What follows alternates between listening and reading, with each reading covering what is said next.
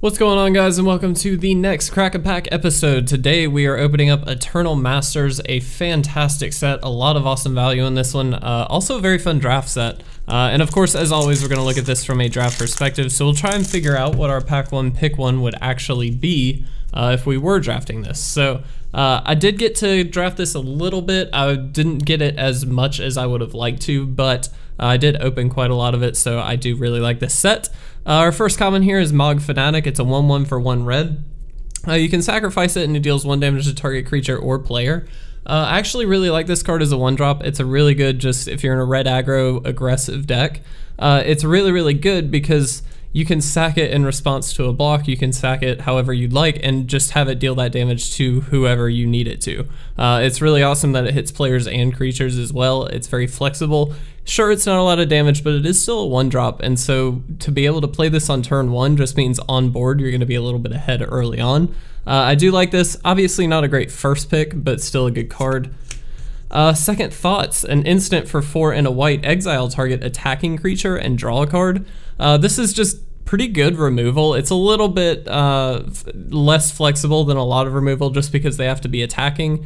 That being said, it is instant speed and you do get to replace it immediately. Uh, and for 5 mana, you exile, not just destroy, which is fantastic. Uh, I really do like that. Uh, I love this over the Fanatic for sure. It's just decent removal. Uh, again, not the best, but definitely something I'd be interested in.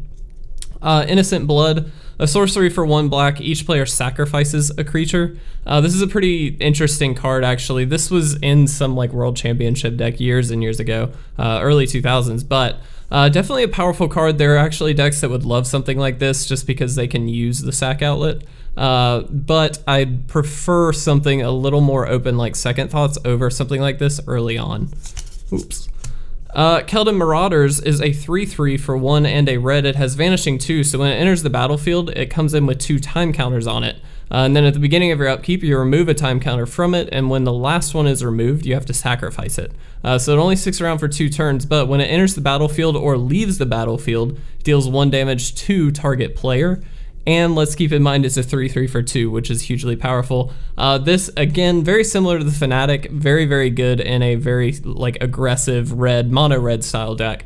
Uh, absolutely love this card. Not necessarily a first pick by any means, uh, but still very powerful.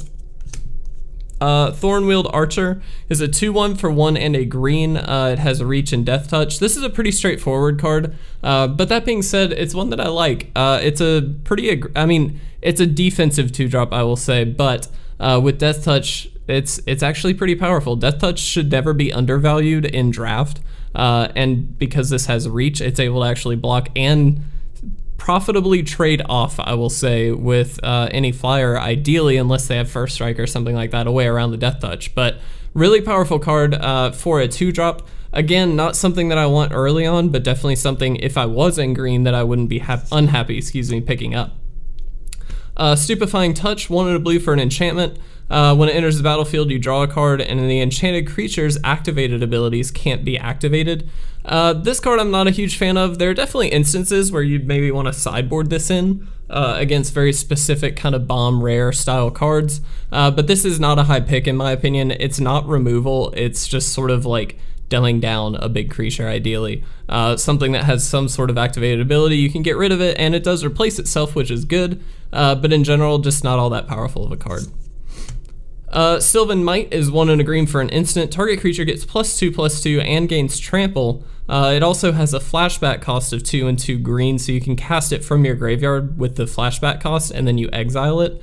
Uh, I really like this as a combat trick. Obviously, if you're in a green creature heavy deck, uh, it sometimes is really good just to have a couple combat tricks in there. Sylvan Might is a couple combat tricks on its own. Uh, you get to play it for two, and then you can flash it back for four if need be. It is instant speed, which is awesome. I really like this. Again, not a high pick, but definitely something I'd be interested in.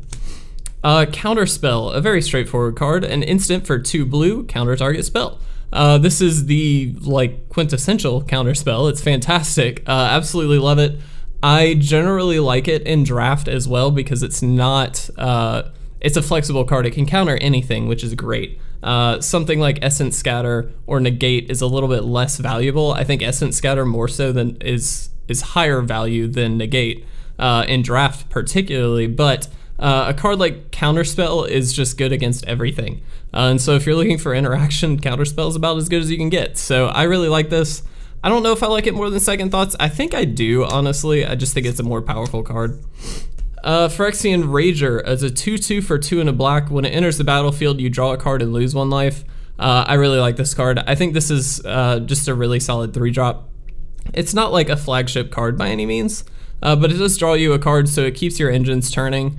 And it's a 2-2 for 3, yeah, it's a little underpowered, but it's going to be able to block or do something uh, for the game. It's not just like it's a 1-1 or something really, really terrible. Uh, so this is just a good value card. Not better than Counterspell, I don't think, but I do like it.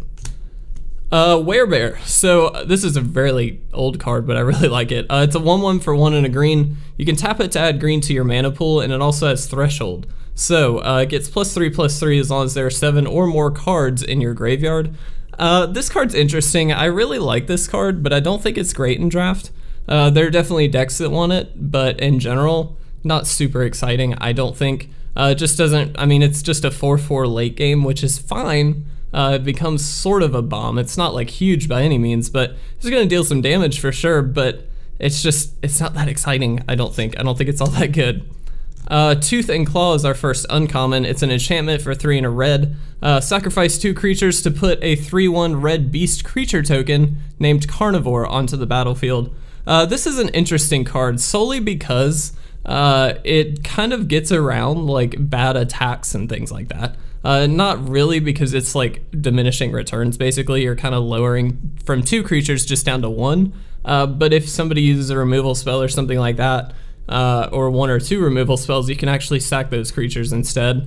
Still not a very interesting card in my opinion. It doesn't do enough, I don't think, in draft. Uh, so not a huge fan of that.